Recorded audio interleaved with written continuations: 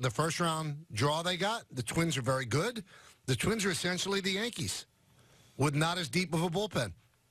They hit home runs. They had one more home run than the Yankees. I think it was 307 to 306. They're good. They're a good defensive team, just like the Yankees. They play the game the right way, just like the Yankees. Uh, they don't have five starters, just like the Yankees. They have two. The Yankees have three.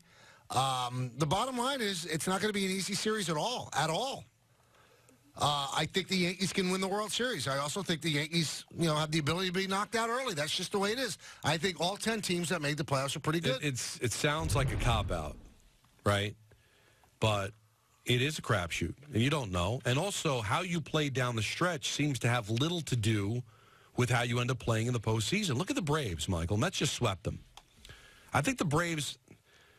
I forget what date they clinched, Michael. I think they only like won one game since they clinched. It's like they mailed in the rest of the season.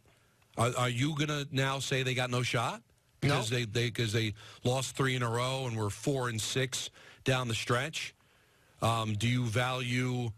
Let's see how, how Minnesota played down the stretch of the season. Minnesota was eight won eight of their last ten. Does that give them an advantage over the Yankees, who No. were were lost six of their final ten? I mean, it, there doesn't seem to be much of a history to that.